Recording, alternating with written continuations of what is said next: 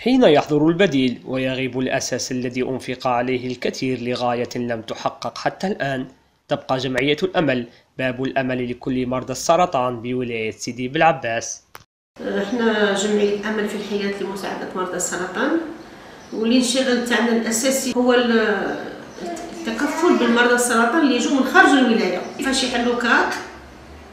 آه، فيه الإيواء ولا من الأكل ولا من كل حاجة ولكن لحد الان حتى مريض ما راه المستشفى الجهوي لأمراض السرطان الذي افتتح منذ أزيد من عامين. لا يوفر الخدمات الضرورية ما بعد العلاج الأمر الذي طرح تساؤلات حول الموضوع.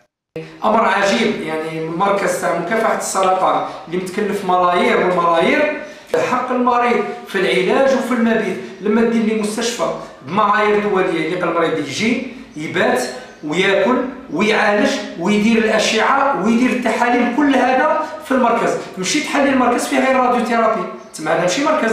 المركز يبقى ناقص. يعني حنا بغينا درك استفسارات. يعني حتى هذا النداء حتى لوزارة الصحة. يعني لازم لجنه التحقيق. سعيده وراني في ولاية بالعباس. ورانا نعانوا بزاف. ما في سبيطارنا بالعباس رانا نعانوا آه، ديبلاسمون علينا بزاف. رانا غير جمعية خيرية هذه جمعية الامل اللي رانا فيها.